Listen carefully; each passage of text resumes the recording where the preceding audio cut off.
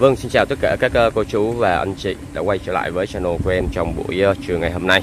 À, chiếc xe màn hình của mình thì con xe này, JRD sản xuất đời 2007 máy dầu turbo đăng ký 7 số ngôi này. Hôm qua em đã lên sóng và em cũng đã một anh trai ở An Giang đã chốt cọc chiếc xe này và cũng theo uh, một hai điểm yêu cầu của anh trai thì bên em sẽ khắc phục lại em làm đẹp lại cho khách và em tiến hành em sẽ giao về lại ở An Giang đây là hệ thống bên trong tụi em là anh trai yêu cầu là làm lại đẹp những cái tắp bi tắp lô cho anh. Thì bên tụi em hiện tại là đang cho mấy anh em thợ đang làm lại nè. Đây quý anh chị nè.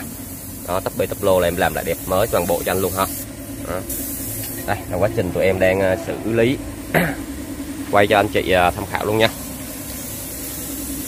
Đó, vậy không đó.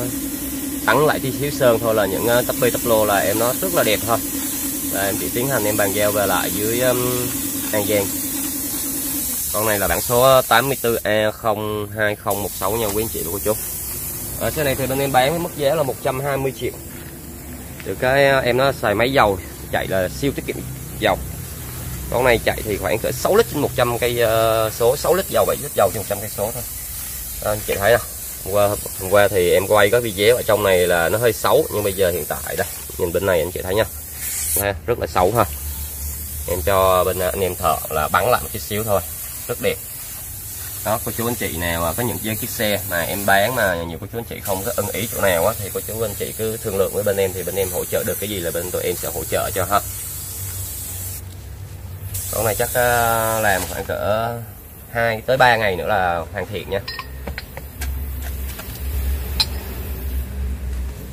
Nó bây giờ đẹp rồi chị thấy không rất đẹp ha. Cái chỗ này là em dặm lại luôn cho khách hàng luôn nha. Làm lại bát nguyên lại con xe luôn cho nó đẹp rồi cho em tiến hành em bàn giao. Dòng này thì à, nói thật với cả nhà chạy thì à, cũng rất là bền. Hiện tại thì xe này bên em cũng còn à, ba bốn chiếc. Thì trong này có chiếc này em đang dọn nè. Cô, cô chú anh chị nào thích ờ, sở hữu chiếc này thì chưa có ai chút cọc đâu. Con này thì nó cũng là Ferrari cũng là máy dầu luôn nha anh chị em đang dọn em tiến hành em ờ, uh, dặm tút lại uh, những cái ờ, uh, chỗ xấu. Xe này anh chị nào thích thì uh, sở hữu thì cứ alo cho em. Uh, chút cọc thì em dọn theo uh, cho đẹp luôn. Con này thì em dọn là chắc là đẹp tại vì tháo ra hết luôn mà anh chị.